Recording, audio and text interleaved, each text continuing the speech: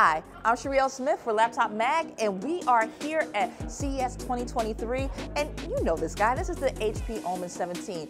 Um, nothing new in terms of design, uh, except, excuse this, this is a pre-production model. This is actually going to look much more pristine uh, in real life. But um, there are some key refreshes that we absolutely need to talk about. Um, starting with the display. So you're going to get a QHD display, and instead of the uh, typical 144 hertz uh, refresh rate that we've gotten used to, uh, HP is bumping this up to 240 hertz. So uh, the higher the refresh rate, the better the accuracy. I I can't explain it really. I just know that when I'm playing an FPS, uh, the better the refresh rate, the more accurate I get. So it works.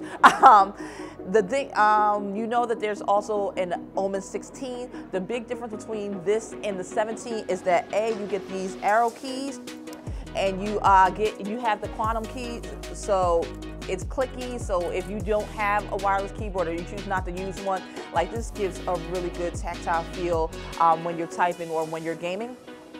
Um, under the hood, uh, we can't say exactly what's going to be under there yet, but um, know that it's going to be a 13th gen Intel uh, HX series uh, processor with a next gen uh, 4000 series NVIDIA uh, GPU.